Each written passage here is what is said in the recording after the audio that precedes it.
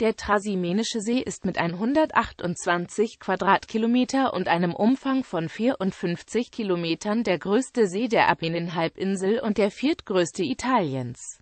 Er liegt in der Region Umbrien nordwestlich von Perugia 259 Meter über dem Meeresspiegel, ist umgeben von bis zu 600 Meter hohen Bergen und bis zu 7 Meter tief.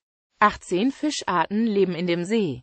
In den Dörfern am Ost- und Südufer ist der Fischfang noch immer eine wichtige Erwerbsquelle. Geschichtliche Bedeutung erlangte der See durch die Schlacht am Trasimenischen See am 24. Juni 217 v.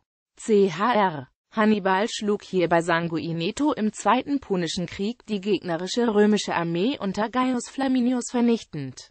Der See wird nur von kleinen Wasserläufen, die im Sommer häufig austrocknen, gespeist und hat keinen natürlichen Abfluss. Die verhältnismäßig dünn besiedelte Uferregion hat zum Teil verschiffte Uferlandschaften. In der Geschichte gab es mehrere Versuche, den stark schwankenden Wasserstand zu regulieren. Schon in der Antike bauten die Römer bei San Savino einen unterirdischen Abflusskanal, die Cava, den 1421 Braccio Forte Bracci.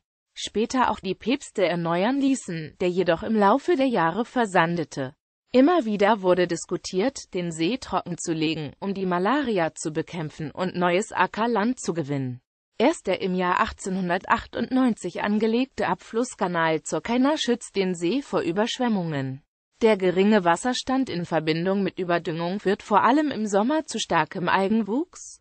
Der Trasimenische See ist ein beliebtes Erholungsgebiet Umbriens. Um den See gibt es zahlreiche Badeanstalten, ein großes Angebot an Campingplätzen, Ferienwohnungen, Freizeit- und Sporteinrichtungen aller Art. Die Isola Maggiore wird von Turo, Passignano sowie Castiglione del Lago mit regelmäßig verkehrenden Schiffen erreicht. Die unbewohnte Isola Minore darf nicht betreten werden. Die Isola Polvese ist mit dem Schiff von San Feliciano aus erreichbar. Sie ist zu weiten Teilen ein Naturschutzgebiet. Oberhalb des Dorfes Sant'Angelo steht die ehemalige Benediktinerabtei Badia di Sant'Angelo. Sie wurde um das Jahr 1000 als Teil eines Verteidigungswalls am Ostufer des Sees erbaut